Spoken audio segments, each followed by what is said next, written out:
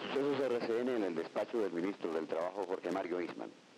Señor ministro, en vísperas del programado paro organizado por la Unión de Trabajadores de Colombia, ¿cuál es la situación laboral general del país?